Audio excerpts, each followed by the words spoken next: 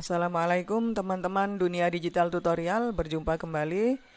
Kali ini saya akan sharing tentang cara melampirkan tanda tangan pada dokumen Microsoft Word ya. Jadi kadang-kadang kita itu kan perlu untuk mengirim dokumen yang ada tanda tangannya. Nah, itu kita tidak harus mengeprint atau mencetak dulu dokumen kita, kemudian kita tanda tangan dan hasil akhirnya dokumen tersebut di scan atau di foto baru dikirimkan. Cara yang lebih praktis adalah kita memfoto dulu tanda tangan di atas kertas kosong, kertas putih dengan tinta hitam. Nah, tanda tangan tadi kita foto dan dilampirkan di dokumen atau surat yang memerlukan tanda tangan kita. Langsung aja kita saya praktekkan ya. Kita masuk ke Microsoft Word jadi di sini saya sudah ada surat yang memerlukan tanda tangan. Kira-kira tempat tanda tangannya di sini ya. Misalkan di sini, maka kita insert dulu tanda tangannya. Pilih menu insert. Pictures. This device. Kemudian masukkan tanda tangan yang sudah difoto. Nah, seperti ini teman-teman, ini kan masih terlihat beda ya antara dasar tanda tangan dengan uh, kertasnya atau kanvas yang kita gunakan ini kan warna putih. Sedangkan di foto ini buram ya. Jadi kita lakukan dulu koreksi yaitu pastikan di sini gambar fotonya, foto tanda tangan ini sudah dipilih ya, sudah diklik.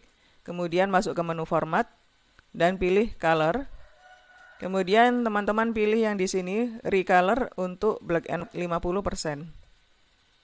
Nah, seperti ini ya teman-teman. Jadi kalau sudah di set di black and white 50%, maka dasar tanda tangannya ini sudah sama dengan kanvas kita yaitu putih.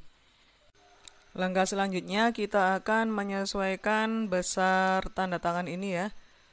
Ini kan masih terlalu luas cakupannya, jadi harus dipersempit dengan cara cropping ya. Jadi tetap di menu format kita pilih yang crop. Kemudian garis-garis hitam yang muncul di tepi ini kita rapatkan ke tanda tangan.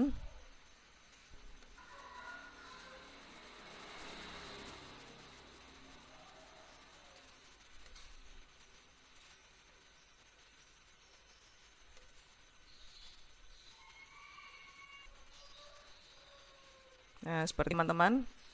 Setelah itu kita klik area di luar gambar itu, yaitu di sini ya.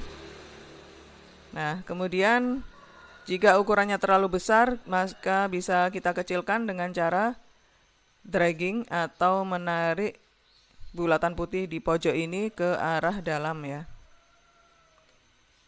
Sampai ukuran yang kita inginkan yang kira-kira proporsional dengan surat yang kita buat ya.